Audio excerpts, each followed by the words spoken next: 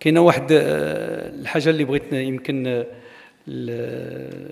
بغيت الكثير من الناس يفهموها هي استقلالية المرأة. لا لا تؤثر على الأسرة كيف ما كيعتقد البعض. الأسرة المغربية متماسكة بالقيم ديالها.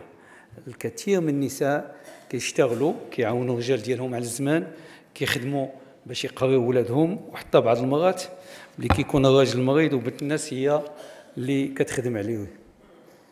وهادو هما القيم المغربية اللي فيها التكامل والتعاضد والتعاون.